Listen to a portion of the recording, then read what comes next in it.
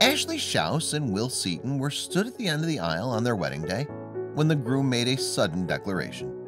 Yes, at the altar he turned around and confessed his love for his partner's sister. And even more surprisingly, the bride couldn't have been happier about it. Hello, wonderful people. I'm Scott Leffler for Wonderbot. And here is when this bride and groom got to the altar, he suddenly confessed his love for her sister. Before we begin, make sure to smash that like button, subscribe to our channel, and click the notification bell for more amazing videos.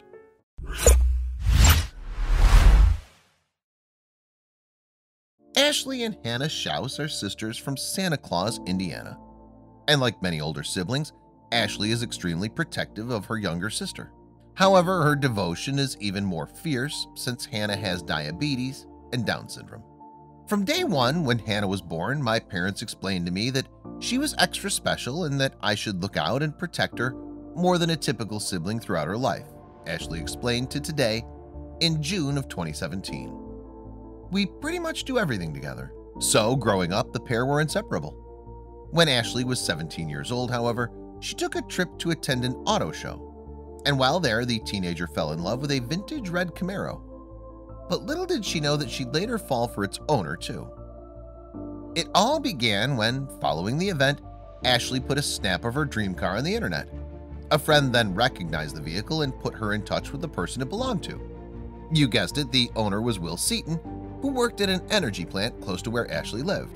Ashley and Will hit it off right away. Before long, he'd even whisked her off in his beloved Camaro to take her out for the first time.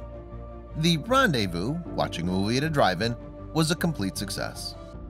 The couple naturally wanted to keep seeing each other, but first Ashley had to break some news to Will.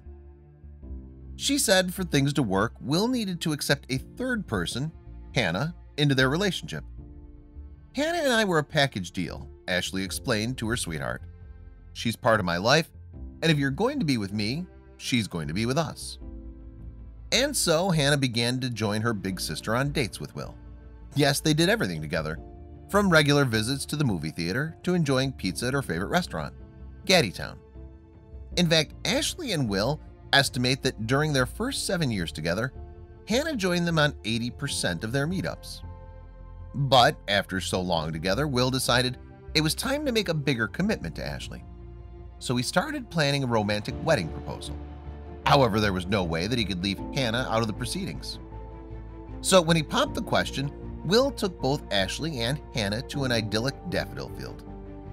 Once there, he got down on one knee and asked Hannah to be his best friend forever. Will even gave her a ring, a gesture all the more touching as it had once been owned by the Shouse sisters' grandmother. All Ashley could do was look on in tears. He looked at me as I was trying to stop sobbing, she revealed. I asked, am I next? Then he got down on one knee and asked me to be his wife. All in all then, it was the perfect proposal. Explaining the reasoning behind his grand gesture, Will said it was always going to be a three-person affair. I wanted to include Hannah in the proposal in case she may not get to experience that, he said in an interview. Hannah is a big part of our relationship and I already consider her a sister. And it turned out that Will was just as serious about committing to Hannah as he was to Ashley. So when planning their big day, the couple made sure that Hannah would feel included.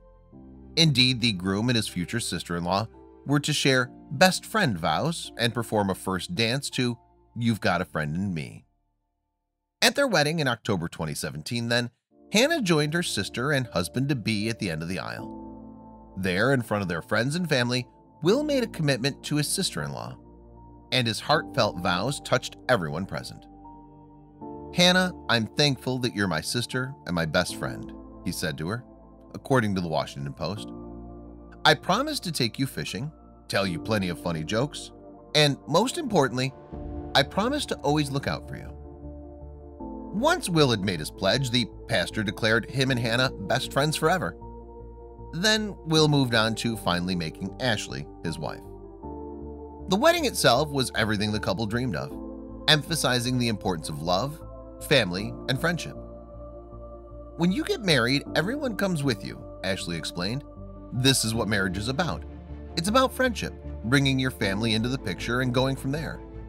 It was wonderful. I know I can trust him with Hannah for the rest of my life. While Will's gesture made everyone at the wedding smile, his commitment to her did have a serious undertone. Hannah will always have to be dependent, so it was one of those things where I was glad he went out of his way to include her, Ashley explained. She'll never be able to live alone. When my parents get older and can't care for Hannah, she'll be under my care. Of course, it did no harm that Will and Hannah were smitten with each other.